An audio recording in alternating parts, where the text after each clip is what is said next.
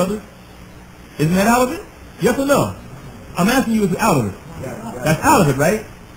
Well, that's what Ali Tamimi and Idris Palmer and those people like him call Sheikh al-Albani. That's what Safar al-Hawali and people like him call Sheikh al-Albani, a murji.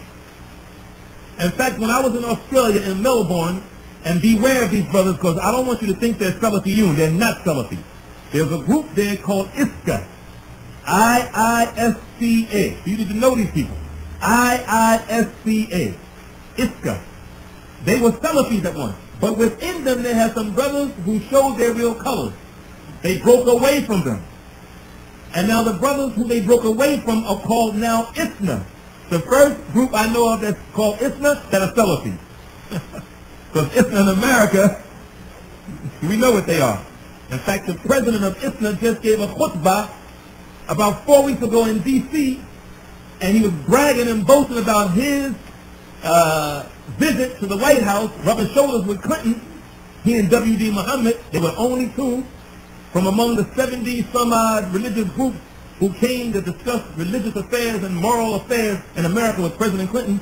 And this president of ISNA encouraged the Muslims in the audience that when your child is born, your newborn comes out of your mother of your wife's womb, that you should take the right ear and pronounce the Shahada in the right ear and the American Constitution in the left ear. That's the president of ISNA. But the ISNA in Melbourne, Australia, they're Salafiyun.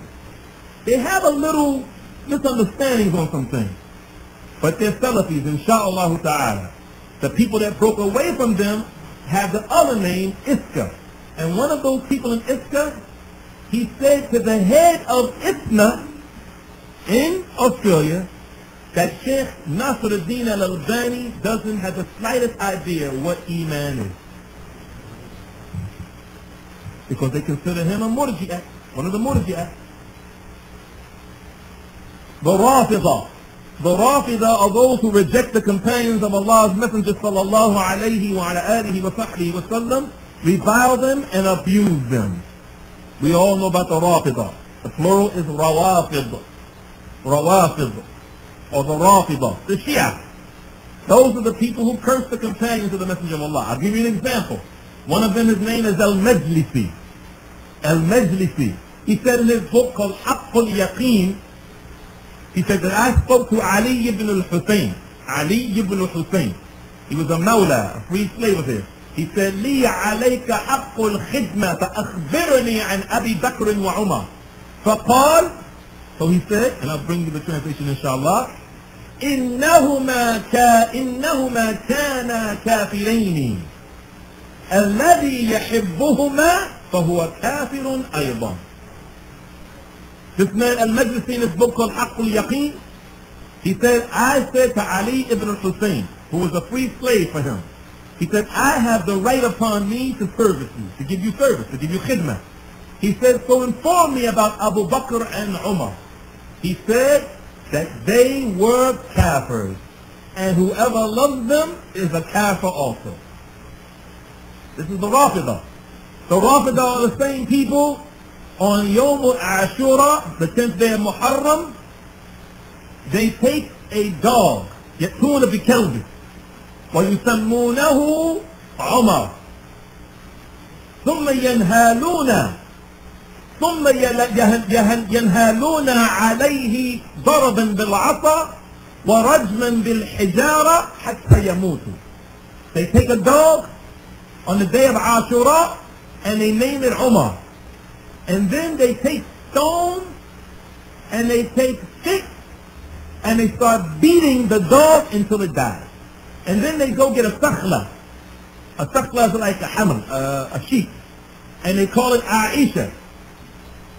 And then they pluck the hair out of the sheep on that day, the 10th of Muharram, and then they start beating it until it dies. This is the Rafidah.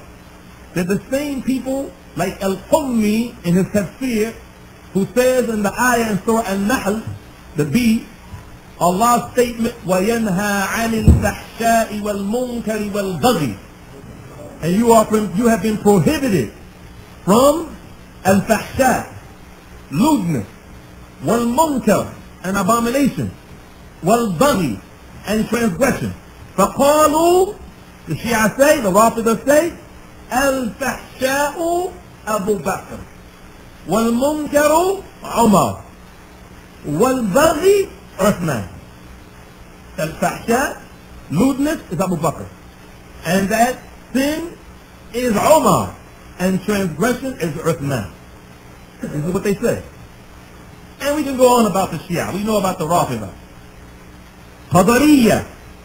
Qadariyya are those who deny the Qadr of Allah and claim that there was a separate entity that was in control of evil. Hence, they were likened to the Magians, the Magians, the Majus. And if we go back to the Rafidah, the Shia, the Shia on that day, Yom al-Ashura, on that same day, when the other ones are beating the sheep and killing it and beating the dogs, some of the other Rafidah or Rawafid, on the same day, that, excuse me, no, not the same day, the day that Omar was killed, the day that Omar was killed, they go and they make a celebration about that man in commemoration of that man who killed Omar radiallahu ta'ala anhu, whose name was Abu Lu'lu' Abu Lu'lu'a al-Majusi.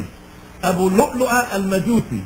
And they praise him and they dua for him and call him the Bab of Shuja' din the door to the courage of the deen. They celebrate the day that Umar died, got killed by that Majusi. So the Qadariyah are those who deny the Qadr of Allah and claim that there was a separate entity that was in control of evil. So they are like the Magians. Takfir, you're all familiar with this word today. The act of declaring a Muslim to be an unbeliever or an apostate. Istihlal. Istihlal. To declare something that Allah has made unlawful to be lawful. Istihlal is to declare something that Allah has made unlawful to be lawful important principles. The methodology of the prophets in calling to Allah. Stated Sheikh Salih al-Fawzan, Hafidhahullah Ta'ala, in his book or in his introduction to the book that has become a thorn in the throats of the innovators. The methodology of the prophets in calling to Allah by Sheikh Rabi' ibn al-Hadi al-Madkhali. And I'd like to make a special note because something just came to my mind. Our brother in Islam, Abu Hassan Malik, whom we all know, who lives in New Jersey and South Jersey, he visited Sheikh Mukbil last week, or a little over a week ago. Did you brothers know that? He visited Sheikh Mukbil. And I want to share something that the Sheikh said. The Sheikh asked Abu Hassan, Hafidhahullah, did you finish translating my book yet? And he felt ashamed. He told him no. He's still working on it. He's halfway through. And one of those books is called Al-Makhraj min al-Fitna. The Exit from Fitna. It's a very important book.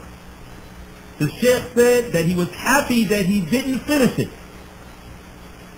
Why? He said, because I want you to take out every single thing that I said about Saudi Arabia. Because what I said was wrong. What I said was wrong. Take everything you said, uh, I said out of Saudi Arabia, because I found out some more information, because I know better. What I said was wrong, so take that out of the book when you translate. I just want to share that with you, brother. See, this is the way of the ulama. This is the way of Salafiyah. Like Ali radiallahu ta'ala anhu, he said, I was looking through the things of the Prophet sallallahu alaihi wasallam. Because the Prophet had died.